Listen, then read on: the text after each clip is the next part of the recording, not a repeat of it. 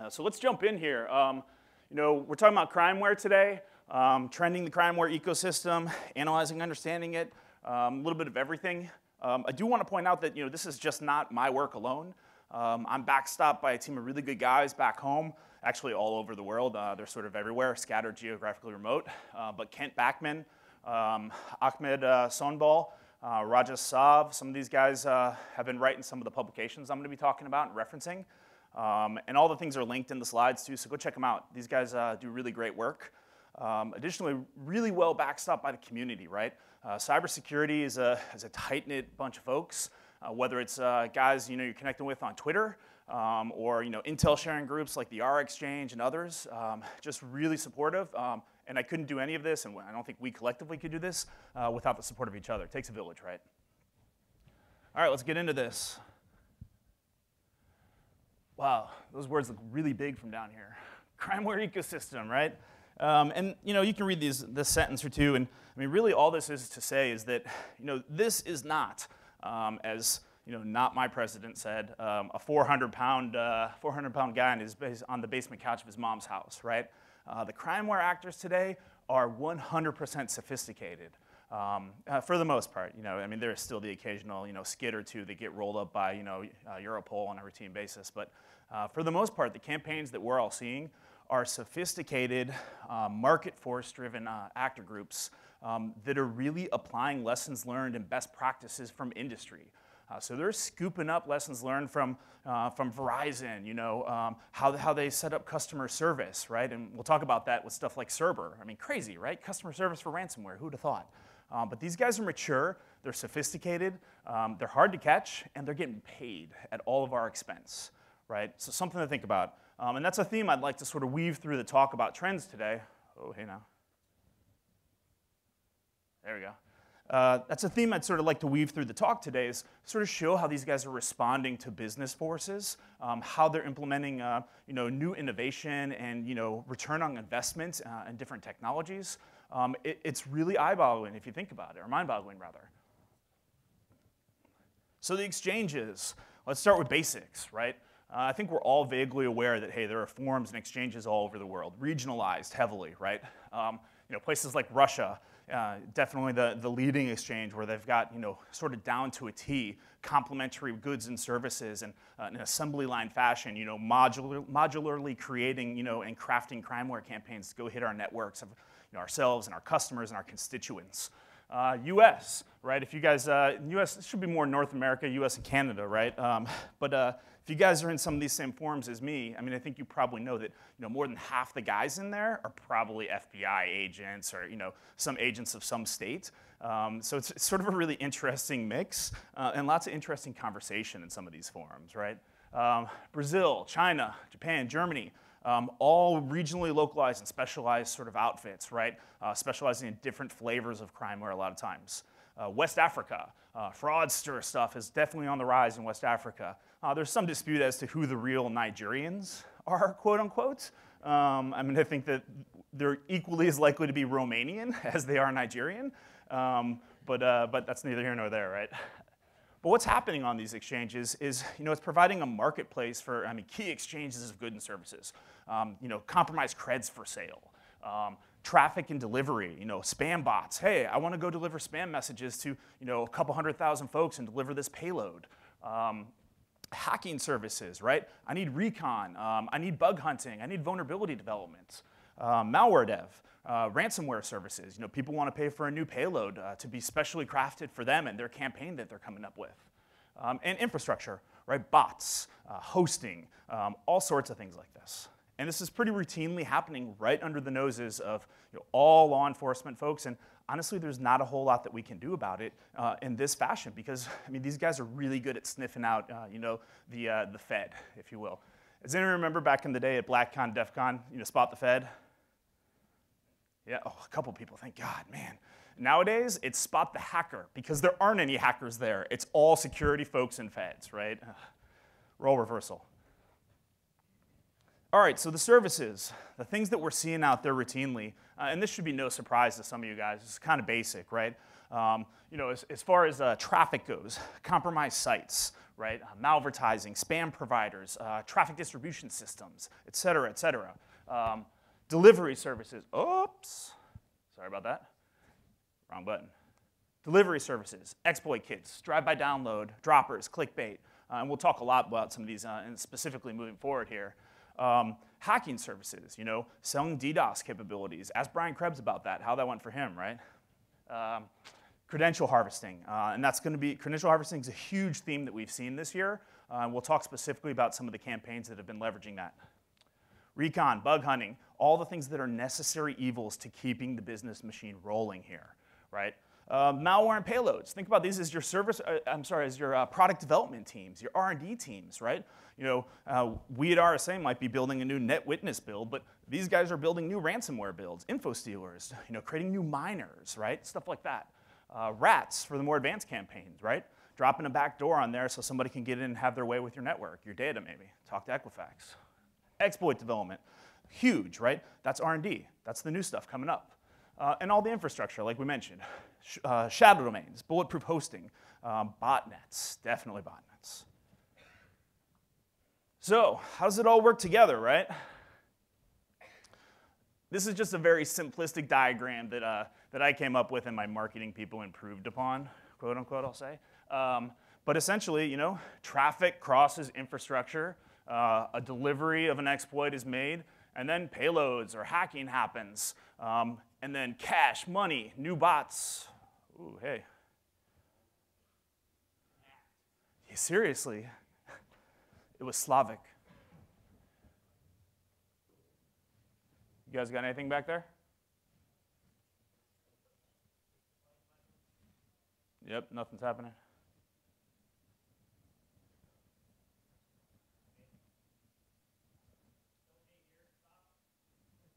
Stop.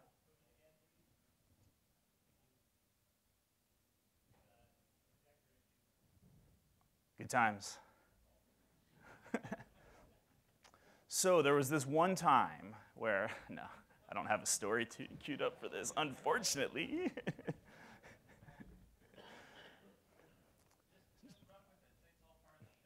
this is totally part of the show, and I've prepared an interpretive dance number right now. So let's go ahead and get this show going here. No, this is totally not like Kevin has no talent because that will become apparent very quickly. Um, but you know, as we, as we figure this out, this issue here, I mean, it, it's really, really very important to sort of respect the competence uh, of these crimeware actors, right? I mean, these guys are making millions upon millions of dollars um, at our expense, um, and often in a pretty humiliating fashion for us. I mean, to be completely honest, like let's talk about Equifax for a second, right? Does anybody know what the, what the passwords were of the external web servers on Equifax that were hacked? The creds? Admin, admin. I kid you fucking not. Admin, admin, right? I mean, honestly, this is the credit bureau charged with protecting, safeguarding 100 plus million folks' security credentials, their, their financial information. Here we go, cool. Admin, admin, right? IT hygiene should be basics to us at this point, right? That's more than 50% of the problem space, and maybe more like 75% of it. If we don't have good IT hygiene um, in our networks, our customer networks, our constituents' networks, everything we do is worthless, right? And that's something that you know you can't foot stomp enough. Uh, but you know, how do you how do you you know how do you ensure good patch configuration practices uh, with a customer that you know is underwater in, in some other capacity, under fire from management by a, uh, you know for some other topic or subject matter, right? It's really hard to get through to some of these guys occasionally. Their priorities are not always our priorities uh, in cybersecurity, which is unfortunate, right? You would hope that they rely on us to provide the expertise there. But here we go, right? Working again. I'm not going to touch that blank button, I swear. Um, how it works together, right? All these things sort of map to these pillars like we're talking about. But let's take a look at it from a criminal's point of view, right? Traffic comes in, right? Legitimate traffic herded into designated bottlenecks. And this could be, you know, this could be malvertising referrer strings, this could be a compromised site, this could be a TDS. Hits infrastructure, crosses that botnet, right? Or um, crosses that shadow domain or that landing page. Exploit gets delivered. These guys are watching. Oh man, again. Exploit gets delivered.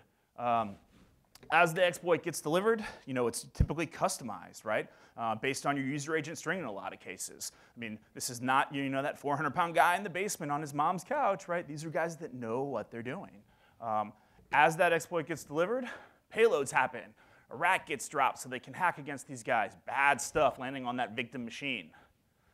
What does that return to them? Sustainability, cash money, credentials, more bots for their botnets, et cetera, et cetera. It's a simplistic cycle. And forgive me for those of you that love the you know, kill chain.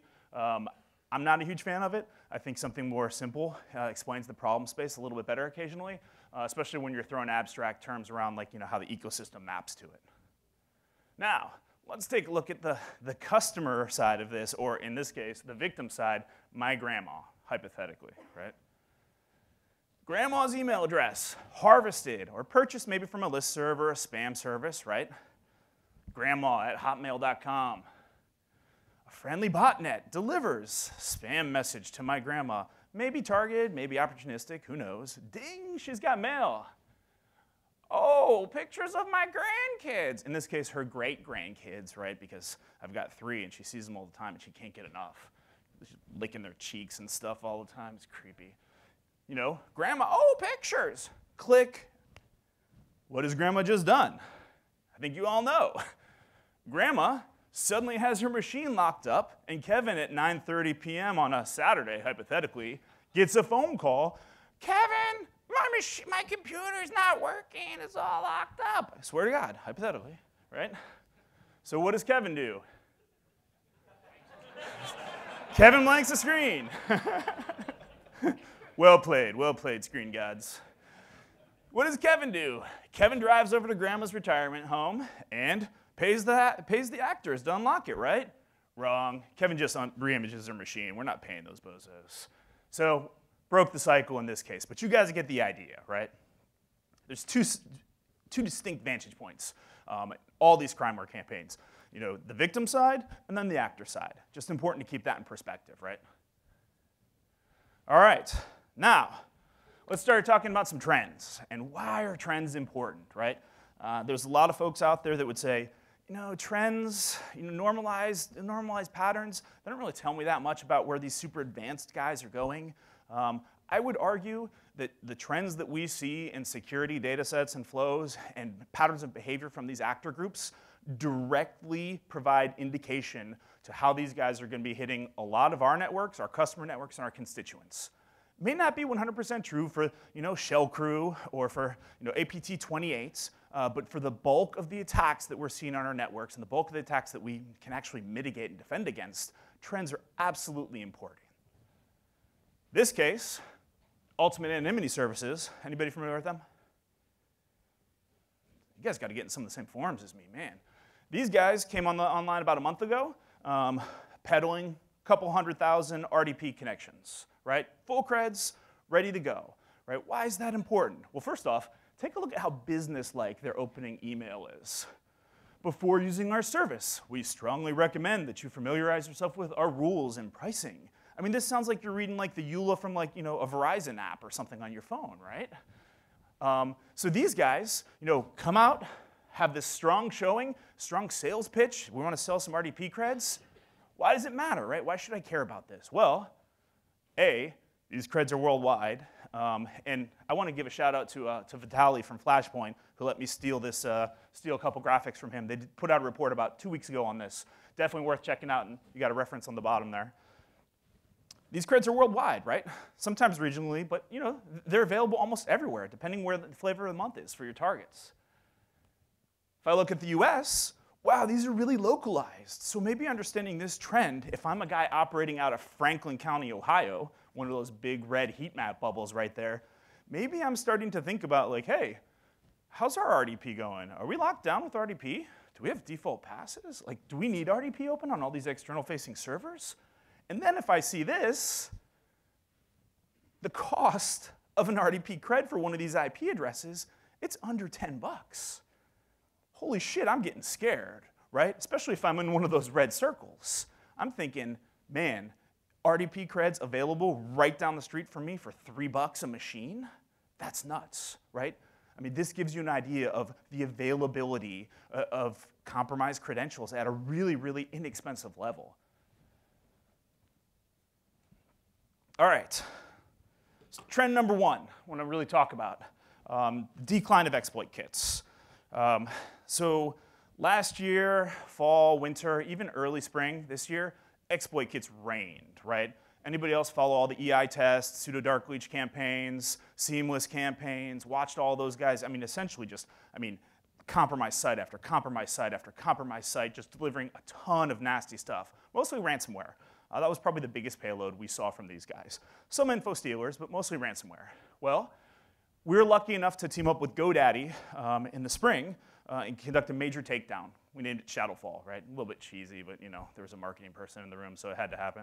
Um, right, and no offense to any marketing people, I love you guys for what you do. It's just we don't always connect at the right levels. You know, it's like Synac, huh? What? Anyways, um, GoDaddy and ourselves managed to take down 40,000 plus actively resolving shadow domains um, in May of this year. So that's 40,000 resolved to an IP address, actually backended and hosted um, shadow domains, right? These shadow domains were primarily set up via programmatic access to the GoDaddy DNS API um, and in dramatic fashion, right? 500, 1,000, 1,500 at a time created, set up as landing pages for an exploit kit, and then unplugged two days later as they got stale, right? And oftentimes, the, the customers that were compromised, none the wiser, had no idea, right? GoDaddy had no idea until we alerted them about this and we dug into it together. Identified probably five or six different patterns, different programmatic patterns for you know, how they accessed and set up these shadow domains, and then had the naming conventions behind them. Well, when we unplugged them all, it was a pretty good feeling, right? 40,000 plus shadow domains unplugged one day to the next. Um, and I know it worked because A, we got some choice comments from some of the RIG landing pages that were still functional, which was always good. Uh, a little bit of respect, a lot of hatred, I would say, uh, as well. Um, a lot of money on the line there for these guys, right? Um, so we like to think that helped contribute a little bit to the decline of exploit kits, right? It's definitely not the only thing. Um, and I would recommend that folks that are interested in this go take a look at uh, uh, Jerome Segura from Malwarebytes has a good report out from this summer, as well as Brad Duncan from Palo Alto's Unit 42, detailing all the reasons why we think exploit kits have declined over the summer, right? Um, and that's still the case right now. So what's the impact? The impact, malvertising, malspam, pick up as the main traffic and delivery vectors. 100% uh, the case. Um, who, who has worked malspam this summer? Has someone not worked malspam this summer? Oh, thank you. One person worked it? Oh, shit, thank you. Thank you. Power. Right? That's a fun little graphic over there you can take a look at. That's just Twitter mentions, which honestly, I think is a very, very good source of intel. Uh, so if, you if you're not on Twitter and you work in security, you should get on Twitter. Uh, the bad guys are on there just as much as us. So what is this? Market forces at work? We took down a whole bunch of stuff. We took down a lot of their infrastructure and shadow domains, and suddenly the amount of activity we're seeing mentioned on Twitter declines. Maybe coincidental? I don't think so. Neither do a bunch of other open source researchers. Well, that's one trend, right? So how did that work, though? Let's map that back to that ecosystem we were talking about, right? Traffic comes in, malvertising, compromised sites, TDSs, the main flow of traffic the exploit kits traditionally, right?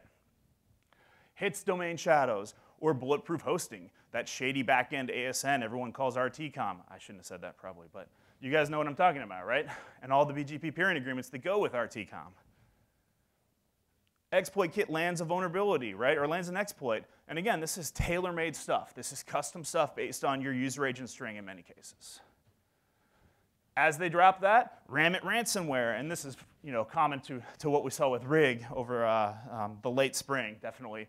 Ramnit ransomware, cryptocurrency miners, uh, banking Trojan, all sorts of nasty stuff lands on the, that victim device. Cash money, credentials, right? Sustainability, that's what it's all about for these guys, right? They've got to keep that sustainability up and running. If they don't, they're dead in the water. So, after RIG and exploit kits declined, we saw the summer of mouse malspam, as we like to quote it, right? Um, and we're not alone in this. I mean, some real great intel and some real great inf information sharing from folks like James in the Box, um, Vitali Kremez. Uh, these are guys I work with pretty routinely on Twitter against malspam campaigns. If you don't follow them, I would, if you're interested and concerned about malspam.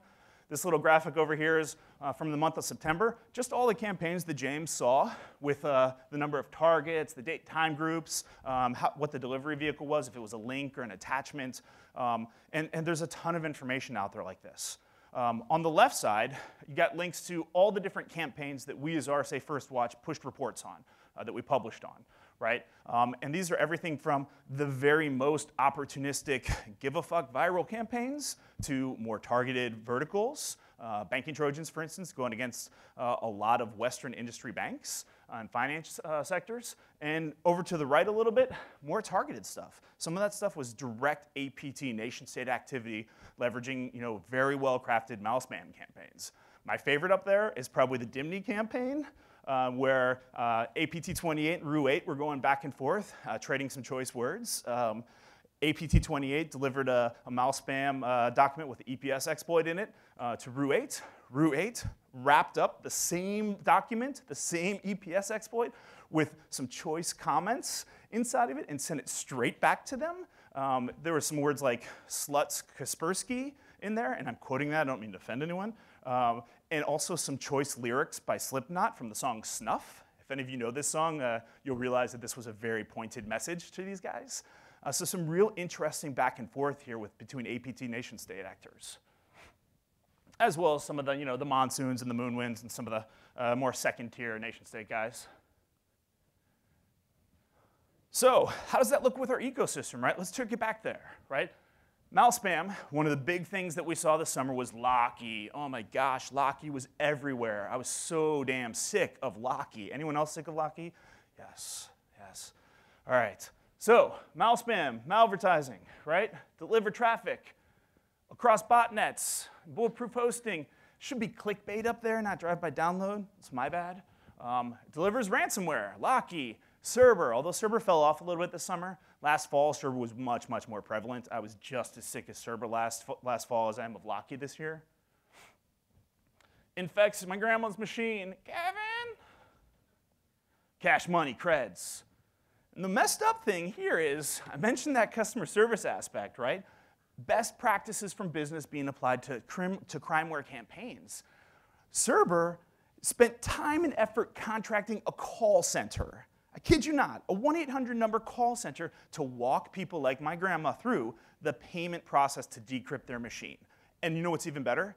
They got like five star ranking, ratings. Like everyone loved them. Everyone loved them. I say, I kid you not. They're probably Yelp reviews. Go look. Just crazy, right? I mean, it's the small things that make a difference, right? If you can invest in customer service, I don't care what business you are, legit or, or illegitimate, right? And increase your revenue income by 10, 15%, why the hell not? And that's what they've done. Ransomware remains a reliable revenue stream right? And that's something that we need to think about, right? These guys are smart enough to incrementalize and diversify their revenue streams. That is a lesson straight out of the playbook of any business that's successful, right? Ransomware is money they know they can count on, um, and they're counting on it. So, just a note here, and I got some little blue notes just to swat people in the back of the head occasionally. If you're being targeted by ransomware, if malspam is a problem, there's some very logical things you can do. Employ DMARC people, uh, domain message authentication and reporting controls, I think. Open source project, right? It's basically a way of understanding and establishing reputation in domains so that you're not accepting mail from shady domains. Another very basic thing, if a domain is brand new, if it's 24, 48 hours old, please don't take email from them.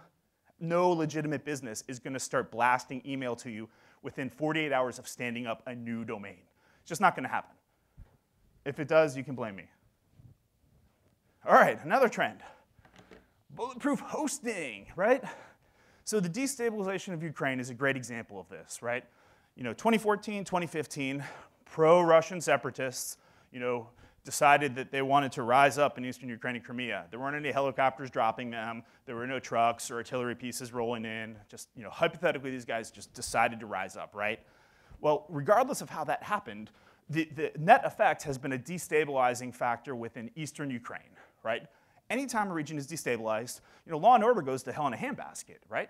And so anyone that's worked malspam this summer, anyone that's worked ransomware this summer or the last, last year and a half, actually, um, has probably seen a lot of domain registration stuff straight to Donetsk, Ukraine, Luhansk, Ukraine, all sorts of spots right here in our friendly trouble area where pro-Russian separatists are clashing with Ukrainian authorities, right?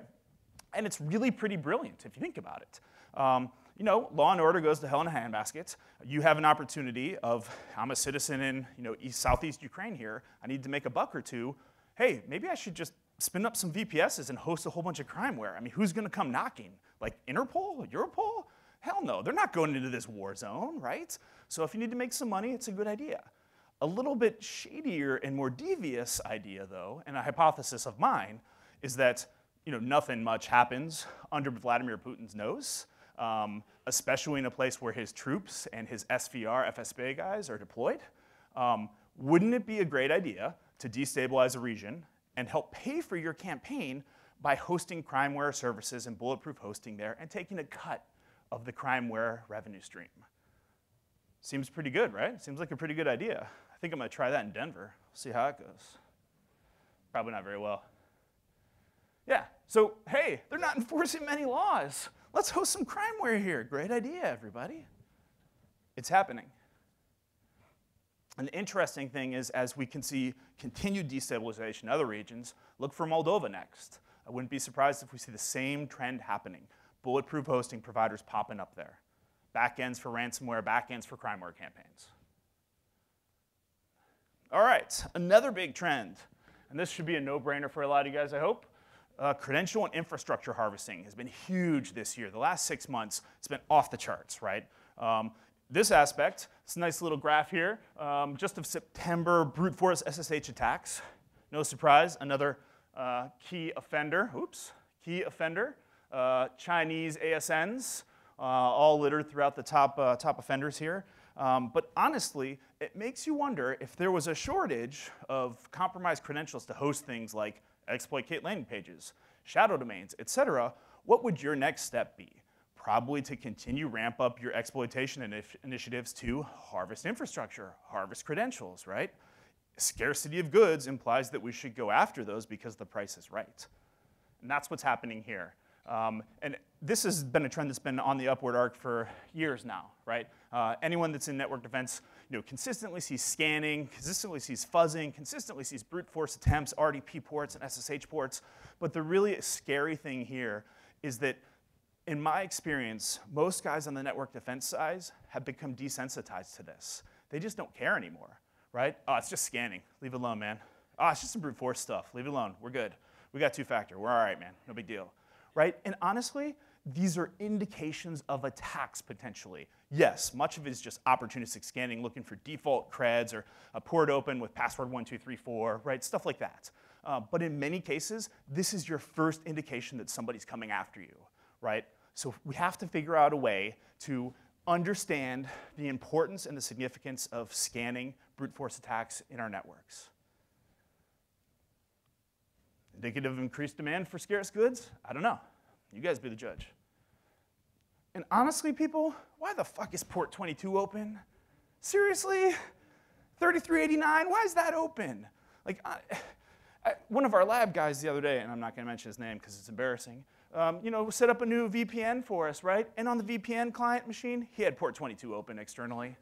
Like within three days, we saw like this huge spike in traffic come into our box and luckily we caught it in time. But just a very simple misconfiguration, it shows you that anyone is susceptible to this. So we always have to be vigilant watching for the basics. This is basic IT hygiene.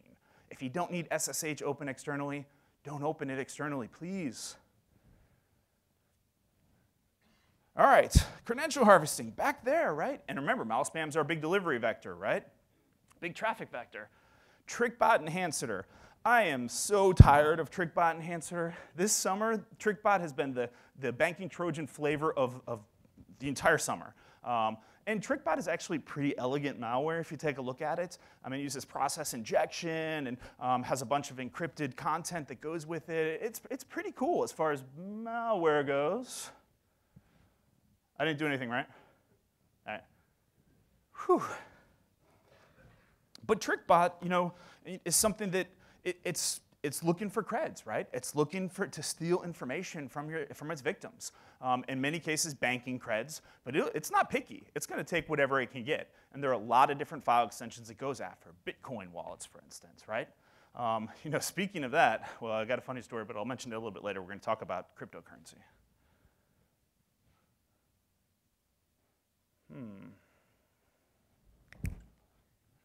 No, no dice? No? Shit. All right, so delivery vector, right? TrickBot, Hancitor, classic info stealers. Um, you know, and banking Trojans, it hasn't been just TrickBot. It's been Retefe. Um, it's been uh, Dridex, a little bit of resurgence in Dridex again recently. Um, it's been Corebot is back. Anyone remembers Corebot? Um, these are all things that actors are dusting off, updating, and going after creds, right? In a heavy and fast way, which makes me think they need creds, right? Uh, maybe it's partly due to some of the, the RIG exploit kit takedown. Maybe it's partly due to you know, them just exhausting their supply, and this is the natural cycle of things. In any case, it's indicative of demand in their marketplaces, right? All right, thank you. I'm gonna buy you guys a beer later and roofie it. Sorry, I was joking, totally joking. All right, now spam delivers, delivers via botnets and bulletproof hosting.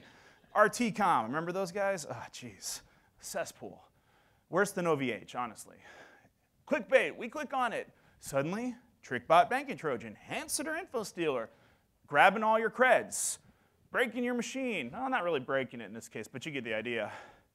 Credentials, that's what they're after. That's the number one seller right now today, credentials. Hey, thanks for the bank account info, dude. I love it, man. What can you do about this, right? There's some very basic, obvious things. For instance, oh, yeah, yeah, that thing again. For instance, weird. I'm downloading a PNG file and it's really an executable.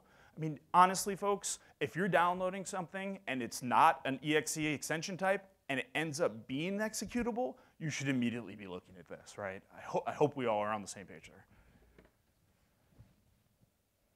All right, so what's happening with all these creds? What are they doing all this stuff, right? Um, I mean, are they just you know spinning up uh, spinning up video games on them and uh, doing craziness? Not really. Bots, one of the biggest things we're seeing, right? And this is not new. I mean, we all should be aware of botnets and you know understand the threat that botnets pose. Necurs, number one, long-term botnet. Lots of different device types, personal computers, PCs, other devices, et cetera responsible for tons of malspam campaigns, Locky, TrickBot, et cetera, uh, for, for years now. That thing has been lurking in the, in the backdrop and just you know, delivering campaigns at will, essentially. Um, what's a little scarier are some of the IoT botnets, right? The Mirai and Persirai botnets from last summer, you know, taking advantage of default credentials on IoT devices, um, building into millions of numbers of bots. And these guys largely believed to be responsible for the Dyn outage on the East Coast last summer as a, sh a show of power, show of force, uh, just to prove, hey, we, we can leverage this and weaponize this botnet. Uh, they did, right? Twitter was down. I was like, oh God, Twitter, no, Twitter's down. Reaper. Reaper's a newer one, right? Uh, I like to think of this as a little bit more sophisticated uh, sort of botnet than, than Mirai, only in the fact that because they're leveraging actual vulnerabilities. They're, they're leveraging ExploitDB public vulnerabilities to roll through Linksys, Netgear, D-Link, IP cameras, et cetera, et cetera, and attack them, right? With, with stock, easy one-line vulnerabilities to grab credentials, grab passwords, get command line access into these devices, right?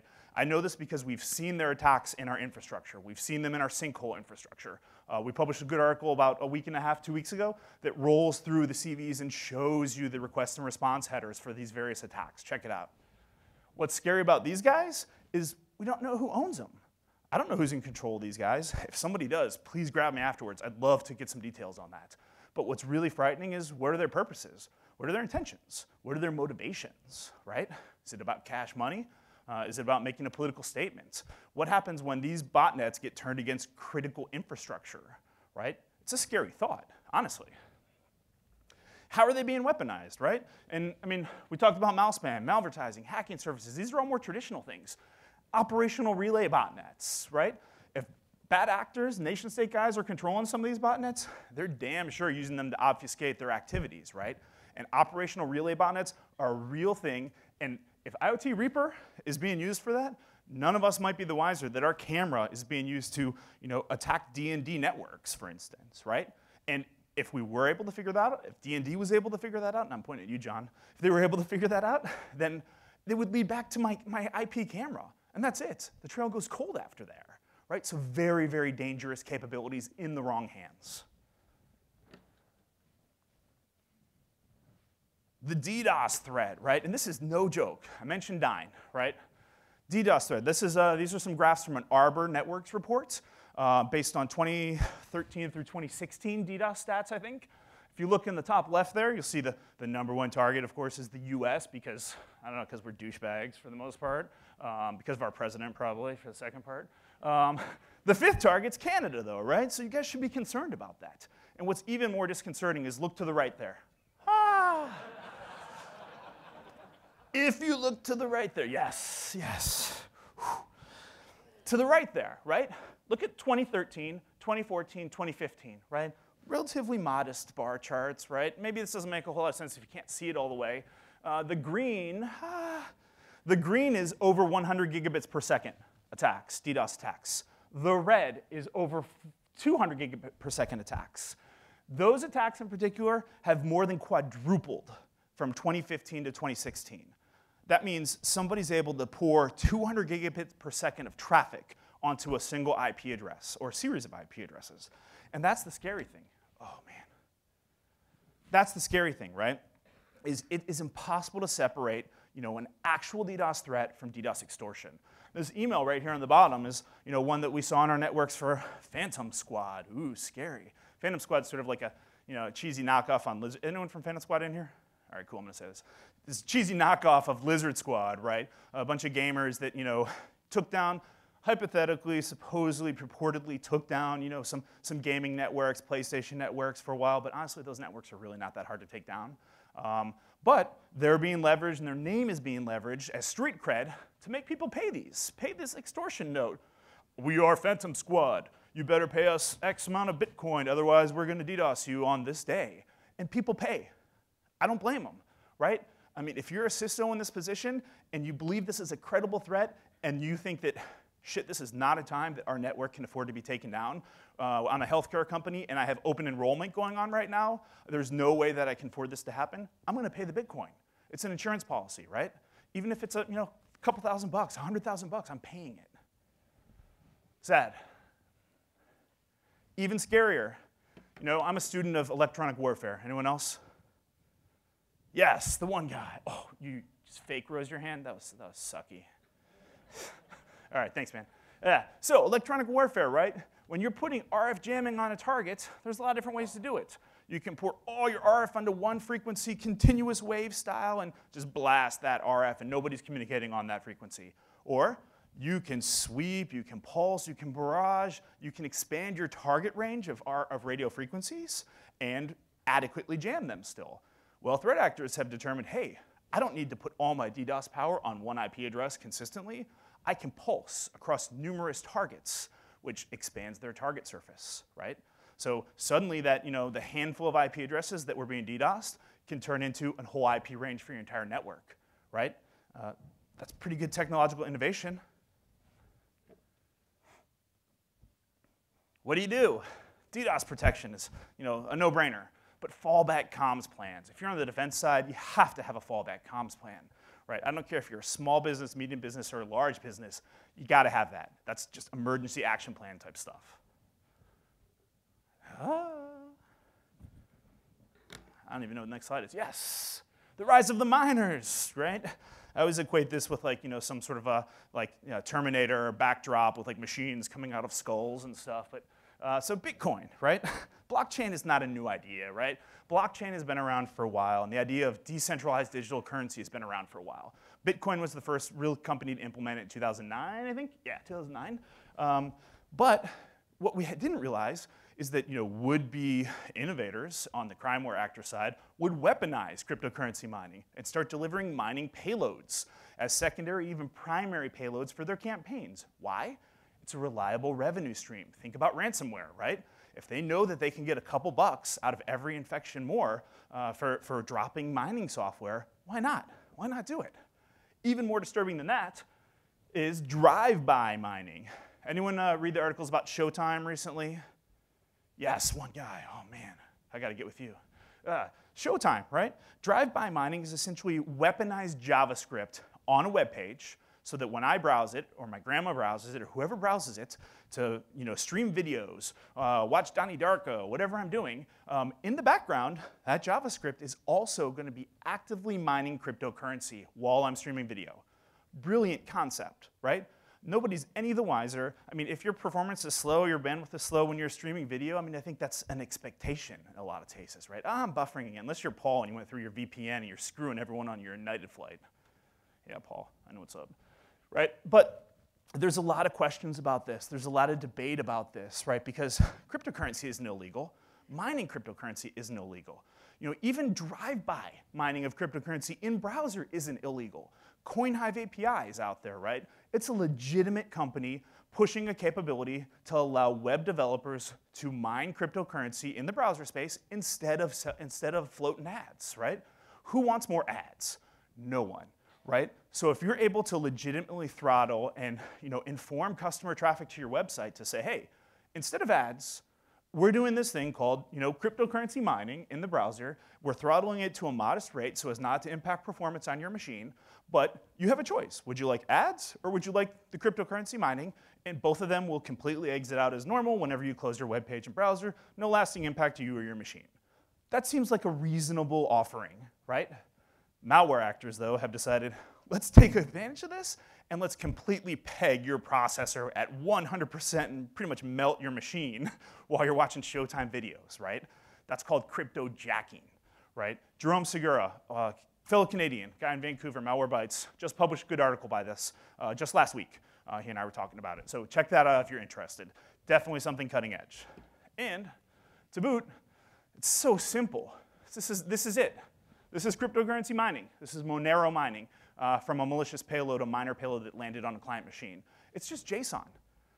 Very distinctive looking, but go look up Stratum, or, or Strata, Stratum, Stratum, excuse me, um, is the most common protocol, but everybody is just using clear JSON um, to, to represent mining traffic. It's very distinctive, very easy to see, so remember that? You see that in your network and it's not supposed to be there? You should probably find out who's doing it, right? Fire that guy how it's being delivered, back to that ecosystem, malvertising, TDSs, pushing against domain shadows and bulletproof hosting. Terror Exploit Kit has been delivering miners most of the summer. Uh, not, not heavily active, uh, but it's there, it's present. Dropping ransomware and coin miners, right? Diversification of revenue streams. To crack up my grandma's machine again. Leave my grandma alone. Cash money, right? Diversification of revenue streams. That is a very sophisticated business, business model, right? These guys, these guys know what they're doing, right? Let's see here. So, I mean, in a funny story, right? So, oh, here we go. New revenue stream. Yes, right. So, I had a buddy um, who in 2011, I think, bought, uh, bought 2,000 bucks worth of Bitcoin, right? For just under 500 Bitcoin. You guys have any idea how much money that's worth today? About $3.5 million. The Bitcoin exchange he was hosting it on got hacked and it got taken from him. Consequently, he's still working for RSA, which kind of sucks, right? yeah, I feel bad for the guy. His name's Mike. What can you do about this? Domain reputation services, and threat intel, right? Threat intel is underrated in a lot of cases for stuff like this, right? Let your threat intelligence guys go to town on this. If they can't tell you that this is a mining service happening, um, then they're probably not worth what they're getting paid. The last trend we'll talk about, uh, the prevalence of SSL and code signing certs. Um, does anyone remember back in the early days where everyone thought Oh, it's encrypted. Oh, it's a signed executable. It's safe. It's good. We know that's good, right? That, that was like the common representation of encrypted traffic and of signed executables in particular, right? Uh, that has changed dramatically, right? Maybe a few years back, nation state advanced actor campaigns decided we're going to start encrypting all of our traffic, right? We're going to steal an SSL cert from somebody or borrow an SSL cert from somebody. We're going to get in a supply chain and compromise a code signing cert for a company, maybe a self-signed one, so we can sign our executable, right? Well, that has trickled down to a lot more crimeware actors now. We're seeing on a consistent basis crimeware, commodity crimeware actors using encrypted communications, encrypted C2, right? Um, TrickBot, Retefe, CCleaner. Uh, these are all big, viral, opportunistic campaigns that use encrypted C2 comms, all right? Self-signed certs, we're seeing that on the rise dramatically as well. Um, and that's especially disturbing when you think about what might be in your root cert store, right? When's the last time you guys all looked at your, you know, on your Microsoft box in the root certificate store? Anyone? Anyone recently? Anyone in the last year looked in their root certificate store? One, two, three, four. Okay, a handful of people. All right, what's really disturbing is that we don't know what's in our root most fundamentally trusted certificate store for our machines. This is the ability to decrypt your SSL communications. This is the ability to completely root your device, your machine, right?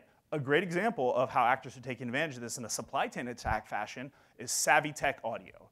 Savitech is a Taiwanese company, chip manufacturer, and high-def uh, you know, computer audio uh, manufacturer, right? Savitech, in all of their infinite wisdom, decided we want to support Windows XP through Windows 2010. Well, Windows XP didn't have to go through the WHQL process as far as certificate validation and approval process with Microsoft. So to support Windows XP, Savitech created a self-signed cert. Said, hey, all right, we'll use the self-signed cert to cover here, and actually it's a common practice among a lot of vendors. But what isn't a common practice is Savvy decided we're gonna bundle all of our drivers together. So XP through Windows 2010 are in one bundle, and all the certs are in one bundle. So if I buy a new Savitech appliance, plug it in, install the USB drivers, and I'm on Windows 10, that Windows XP cert gets inserted into my root store whether I'm on XP or not. That is a concern, right? I mean, honestly, that is such a poor and, and irresponsible practice by those guys. Any of those thousands of devices running savvy, savvy Audio-Tech device drivers suddenly have introduced a massive vulnerability to their customer base, right? And if that root cert, if that cert, the private key gets compromised, uh, that Taiwanese cert gets compromised, then all of those devices immediately susceptible to being rooted in SSL decryption. That's huge. That is freaking huge, right? And they're not the only one. There are a handful of these that we're aware of, and if these are just the ones that we're aware of, there are obviously dozens more practices like this in industry. Scary, scary stuff. What can you do? Certificate whitelisting, blacklisting. Number one, obvious stuff. Know who you trust in your networks. Care about SSL cert metadata. And this is one you can take advantage of right now. Crimeware actors that are using this stuff are really sloppy in their implementation. They're not even populating issuer or organization, or if they are, it's like a DGA blurb or something that makes no sense, right? Or Microsoft is one that I saw with a U instead of an O. And I'm like, seriously, Microsoft? Like, this looks legit to you guys? But this is not a hard problem for them to, to react to, right? If they clean this up and clean it up effectively, it's going to be increasingly more difficult to tell the difference between viable SSL certs and shady ones. And then finally, know what's in your root store. Please take a look at your home machines. Just do it just one time. If you're drinking, whatever, I don't care. Take a look for five seconds. And if, the, if you know what's in there, everything that's in there, uh, call me and I will send you like a bottle of liquor, all right? I guarantee you, all of us have something in there that we forgot about or are not aware of. Scary. All right, so recap trends. One, malvertising, malspam. Those are the big players right now. Uh, those are the ones delivering traffic, taking advantage of traffic to deliver badness. Two, darknet's not going away. Those guys are focused on credential harvesting. They're more active than ever and better funded than ever. Three, ransomware, cryptocurrency mining, reliable revenue streams for these guys. And anytime you have a reliable revenue stream, it allows you to plan for the future. Four, botnet capabilities, scary, scary stuff. You think about what these botnets are going to be doing when there are, you know, 2 million autonomous cars on the road in the year 2025, right? If I'm on a, if I'm on a family trip with my kids in the middle of the highway, my kids, in the middle of the highway, and somebody locks down my autonomous car, I'm paying a couple Bitcoin, guaranteed. Guaranteed. And finally, increased adoption of encryption is going to make all of our lives more miserable. It's going to make it harder for us to defend our networks, understand good from bad, and to really effectively do our jobs as cybersecurity folks. And it's going to blank out right now, probably, right? That is the conclusion.